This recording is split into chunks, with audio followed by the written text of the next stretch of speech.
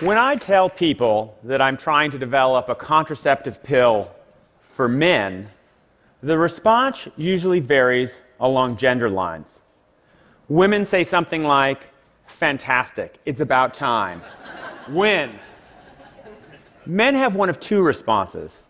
They either love the idea or they look at me a little warily and wonder what exactly I have in store for their testicles.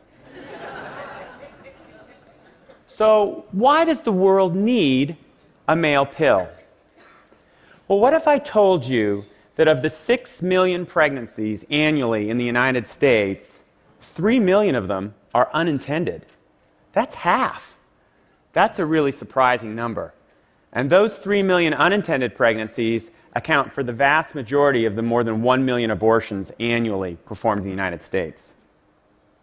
Happily, the rate of unintended pregnancy has fallen in the last few years by about 10%. This is because more women are using effective, long acting, reversible forms of contraception. But we still have a long way to go.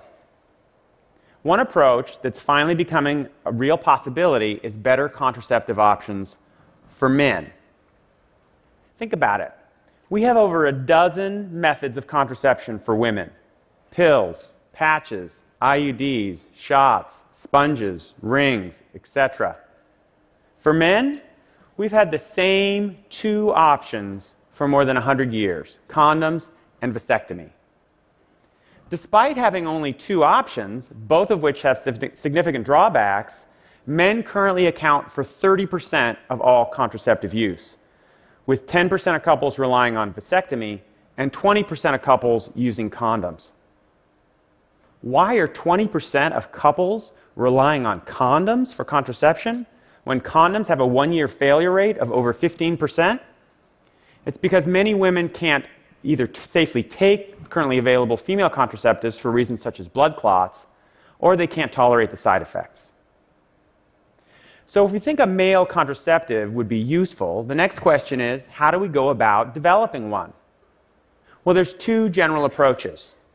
The first approach is to try and interfere with the way the sperm swim towards or bind to the egg.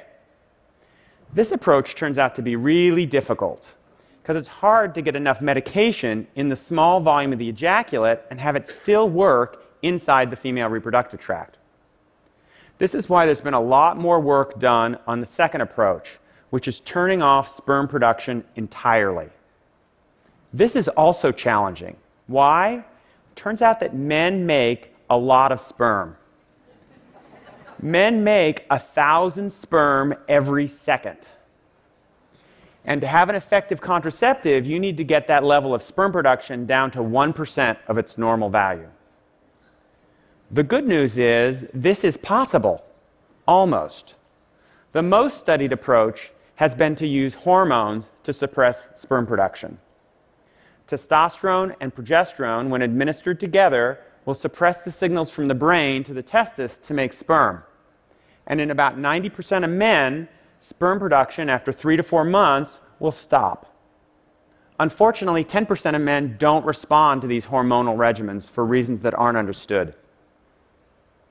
For the last several years, my colleagues and I have been taking a different approach to male contraceptive development, one that doesn't involve the administration of hormones.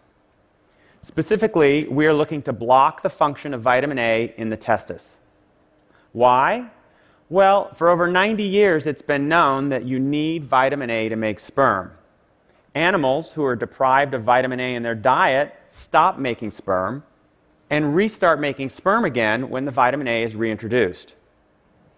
The vitamin A that we ingest is converted by a family of enzymes to something called retinoic acid. One of these enzymes is found only in the testis. It's this enzyme that we are attempting to block.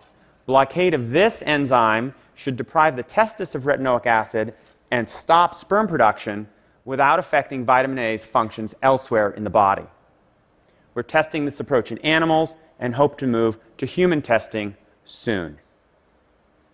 Obviously, the impact of such a male contraceptive would go well beyond reproductive biology. It's interesting to speculate about the effect that it would have on relationships between men and women. One intriguing possibility is that a man could monitor his contraceptive status over time. In the last several years, two groups have introduced home sperm testing devices that are iPhone based and that are easy to use. A man could test his sperm count and share the result with his partner. If the man's sperm count were zero, the man and his partner would be, feel very comfortable relying on his contraceptive. A tool like this, coupled with a male contraceptive, could greatly increase the role for men in preventing unintended pregnancy. The researchers who are working on male contraception are trying to create a better future for couples.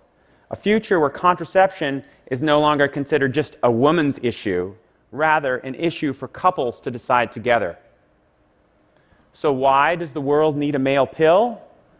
Well, I believe that a male pill will help reduce the stubbornly high rates of unintended pregnancy and abortion and allow men to equally participate in contraception. Thank you.